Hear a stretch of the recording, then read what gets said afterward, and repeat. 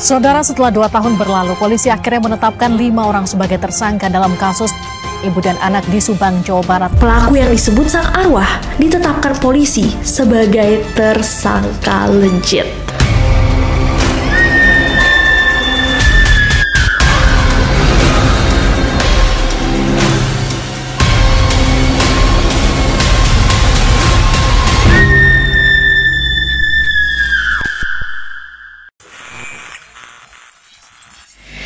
It's Nessie and welcome back to Neror. Kalau kalian belum subscribe ke channel ini, jangan lupa klik tombol subscribe-nya, terutama untuk kalian yang suka horor dan misteri atau kasus-kasus true crimes. Karena video kali ini mencakup semuanya. Di tahun 2021, Indonesia sempat digemparkan salah satu kasus yang terjadi di Subang di mana sepasang ibu dan anak ditemukan sudah tidak bernyawa, bersimbah cairan merah. Tersimpan di dalam mobil mewah mereka di garasi. Kasusnya dibuat lebih ramai lagi ketika tak lama kemudian tersebar nih sebuah rekaman video seseorang yang dirasuki arwah dari salah satu korban yang menceritakan, membongkar dan membeberkan apa yang terjadi padanya dan siapa pelaku dari kejahatan yang sangat keji itu. Nah kalian, neroris, pasti udah tahu ya bahwa banyak nih kasus-kasus kerasukan di mana arwah mencoba menceritakan apa yang terjadi sama mereka. Tapi yang membedakan kasus yang satu ini adalah bahwa baru kemarin nih, di Oktober 2023 ini, pelaku yang disebut sang arwah ditetapkan polisi sebagai tersangka legit. Aku dan SCC mencoba untuk rangkum buat kalian, neroris. So langsung aja, without any further ado, stop senyum-senyum, cause shit's about to go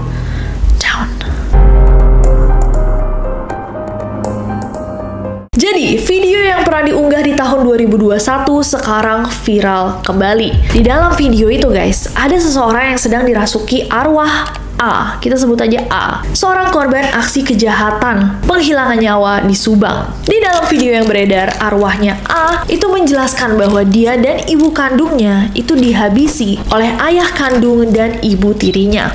Sang arwah itu menjelaskan bahwa ibunya itu dihabisi saat dia sedang tidur karena A mengetahui atau melihat kejahatan yang dilakukan oleh dua orang pelaku.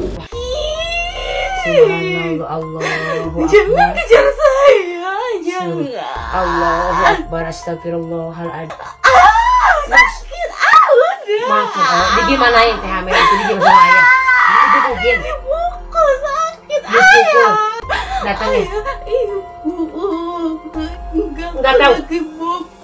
lagi bobo disiksa itu jam berapa? Se- Setengah lima.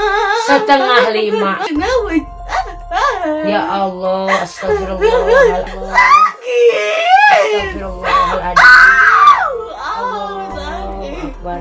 A juga cerita bahwa dia tuh mencoba untuk melarikan diri, tapi ketangkep dan akhirnya jadi korban juga. A sama ibunya ditelanjangi, baju mereka dimasukkan ke dalam kantong kresek dan dibuang.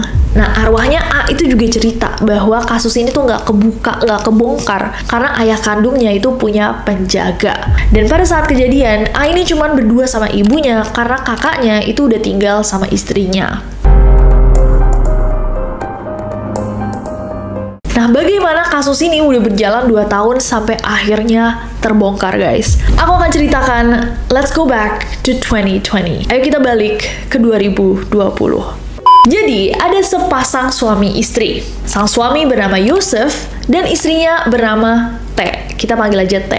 Yusuf sama T ini dikaruniai dua orang anak. Anak pertama tuh cowok, namanya Y, dan yang kedua itu A, cewek. Ayah sama ibunya itu nggak harmonis lagi hubungannya. Mereka tuh sering banget berantem, dan rumah tangga mereka dipenuhi cekcok. Eventually, ternyata sang ayah, si Yusuf, itu nikah lagi guys. Nikah sama seorang perempuan yang sudah memiliki anak dua, dan anak-anaknya ini udah lumayan gede juga. Kira-kira mirip-mirip lah umurnya sama Y dan A, tapi emang anak dua ini lebih muda. Nah, tapi Yusuf itu nikah sama istri keduanya, Mimin, masih dalam status menikah dengan T juga. Alias dia tuh masih suaminya T. alias lagi dia punya dua istri. Over time, aku nggak tahu ya gimana dia cara multitask, tapi ya kehidupan mungkin, I don't know. Eventually, Yusuf sama Mimin itu punya bisnis bareng guys. Bisnisnya adalah yayasan pendidikan. Dan ternyata bisnisnya ini mungkin mulai berjalan ya. Sampai lama-lama istri pertamanya, si T itu juga involve nih guys. Dan kelamaan malah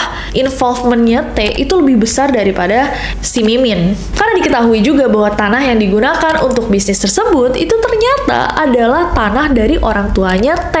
Semakin lama involvementnya T tambah banyak, anaknya si A pun juga ikut masuk tuh ke dalam bisnis ini. T sebagai bendahara dan A itu sebagai sekretaris. Walaupun sebagai pendiri, eventually ternyata Yusuf itu juga kayak rada ketendang gitu dari bisnisnya sendiri. Malah akhirnya dia jadi nggak punya bagian nih dari bisnis yang dia dirikan.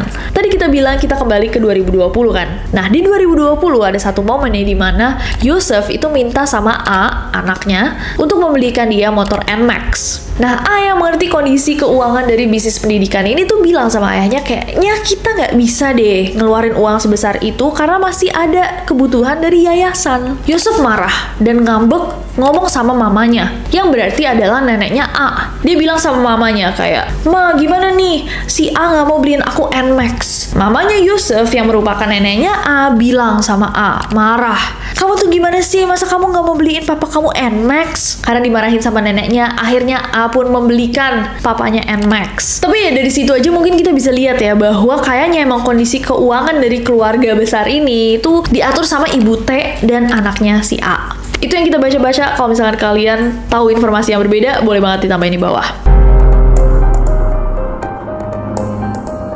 Suatu hari, pada 18 Agustus 2021, Yusuf sehabis menginap di rumahnya Mimin, pulang ke rumahnya T. Pas dia pulang ke rumah T, katanya dia tuh merasa kok rumahnya kosong banget. T nggak ada, A nggak ada. Dengan itu dia merasa kayak, hmm, ada sesuatu yang suspicious, sesuatu yang mencurigakan. Saya harus langsung telepon polisi. Polisi pun datang ujuk-ujuk-ujuk, datang dan polisi bersama Yusuf pun mengecek seluruh rumah. Katanya dicek dari dapur, kamar-kamar, semua dibuka-bukain, tetap aja nggak ada T sama A. Sampai suatu ketika mereka menemukan bercak cairan merah yang berasal dari tubuh manusia tapi aku nggak bisa bilang di YouTube. Tahu kan kalian? Diceklah bercak tersebut dan ternyata polisi dan Yusuf menemukan T dan A sudah berada di dalam mobil tanpa busana, tertumpuk dan bersimbah cairan tubuh mereka. Melihat hal itu, polisi langsung melakukan olah TKP, memeriksa saksi-saksi, serta mengotopsi kedua jenazah. Otopsi menunjukkan bahwa korban T dan A meninggal karena ada luka berat di kepala yang diduga akibat serangan benda tumpul. Korban T juga ditemukan ada robek di bibirnya. Diperkirakan bahwa korban T ini lebih dahulu dihabisi pukul 1 dini hari dan 4 jam kemudian pukul 5 pagi baru korban A dihabisi. Melalui olah TKP, polisi juga menemukan ada papan pencuci baju guys yang ada bercaknya juga. Nah diduga bahwa benda ini adalah murder weapon atau alat yang digunakan untuk menghabisi para korban. Ditemukan juga pisau, karpet dengan bercak, pakaian korban, dan juga sidik jari. Polisi juga menemukan ada dua profil DNA asing yang berada di TKP. Menurut kepolisian, T itu dieksekusi di dalam kamar saat sedang tidur. Dan polisi juga menduga bahwa T ini sempat dibersihkan dulu sebelum akhirnya ditaruh di dalam mobil Alphard. Nah, A itu diduga sempat melawan dulu guys sebelum akhirnya dia dihabisi karena emang ada bekas pukulan. Nggak ditemukan ada tindak pidana pencurian karena nggak ditemukan ada tanda-tanda kerusakan di pintu rumah mereka. Nah, polisi menduga bahwa pelakunya nih nggak mungkin satu atau dua orang karena ada lebih dari dua jejak kaki yang ada di rumah tersebut. Ponselnya A juga hilang diduga di bawah pelaku. Nah, polisi juga menemukan bahwa di baju salah satu saksi alias Papa Yosef yang dipakai pada hari dia mencari para korban itu juga memiliki bercak. Tapi dikatakan bahwa polisi pada saat itu tidak bisa memastikan siapa pelakunya karena masih fokus melakukan penyelidikan. Polisi menemukan ada CCTV yang merekam pergerakan dua kendaraan yaitu mobil Avanza putih dan motor NMAX biru. Dikatakan juga bahwa salah satu rekaman itu menunjukkan salah satu pelaku membuang barang bukti di tong sampah sebuah tempat pencucian mobil yang gak jauh dari TKP. Dan menurut keterangan polisi, dilakukan berbagai macam investigasi, termasuk dengan memeriksa 10 TKP, rekaman CCTV CCTV yang ada, 216 item barang bukti, memeriksa 124 saksi, dan polisi tidak berhasil menemukan sang pelaku.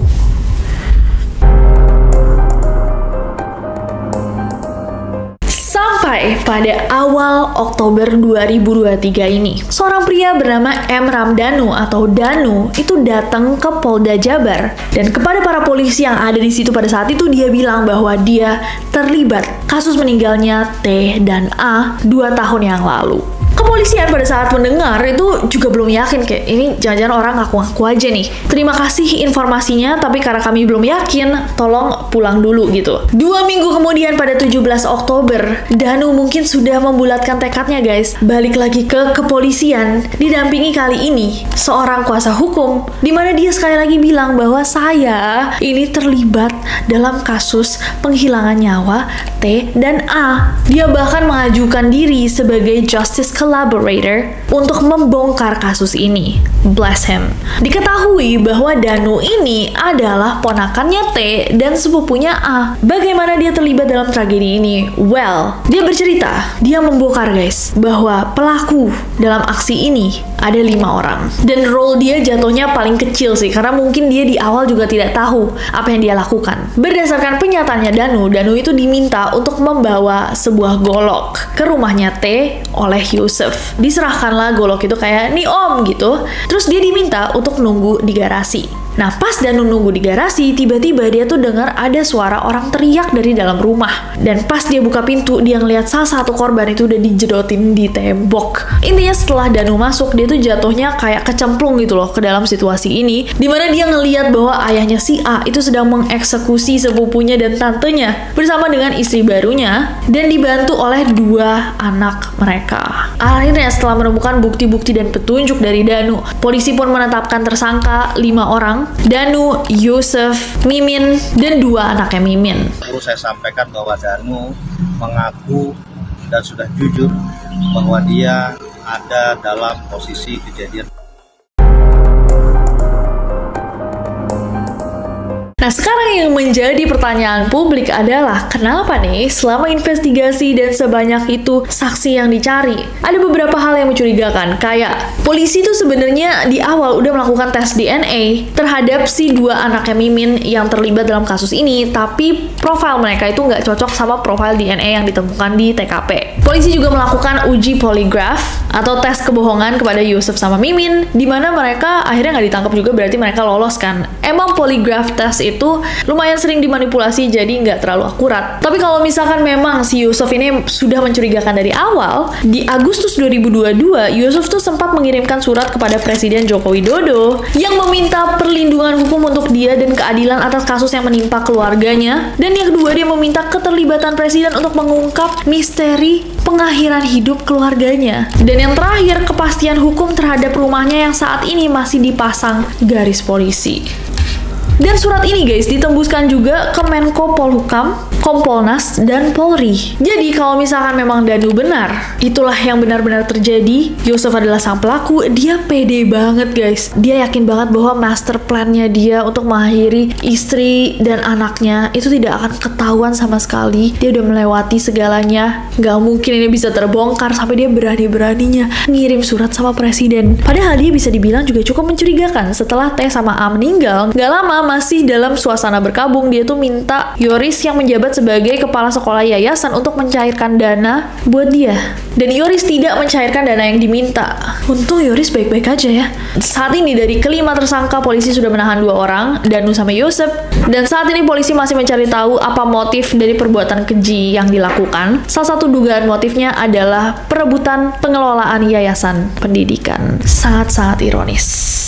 Apakah ini merupakan ujung dari kasus yang terjadi di Subang dua tahun yang lalu? Apakah benar kasus ini dipecahkan oleh arwahnya sendiri atau ada penjelasan lainnya? Siapakah yang menggerakkan hatinya Danu untuk mengaku? Hmm, coba Neroris, aku mau mendengar pendapat kalian. Apakah mungkin yang dirasuki itu orang lain yang gak ada hubungannya sama mereka? Mungkinkah memang dia dirasuki atau menurut kalian ada penjelasan logis? Kayak misalkan mungkin pada saat itu dia lagi invested sama kasus ini sampai ke bawah ke alam sadarnya. Atau menurut kalian ya sebenarnya kasus ini cukup jelas sih walaupun kelihatannya kayak investigasinya belibet tapi ya semua bukti circumstantial evidence-nya mengarah pada sang ayah itu, Yosef.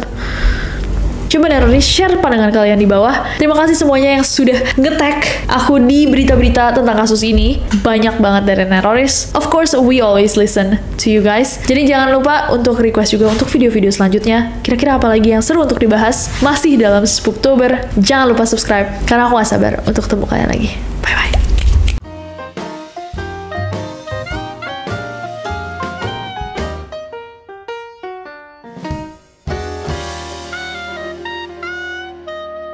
Bahwa salah satu korban itu udah dijedotain. Dijedotain. Dua minggu kemudian Danu mungkin sudah membulatkan tekadnya guys. Dia datang lagi ke kepolisian. Dia bilang tangkap saya pak. Saya terlibat kasus penghilangan nyawa itu. Enggak ya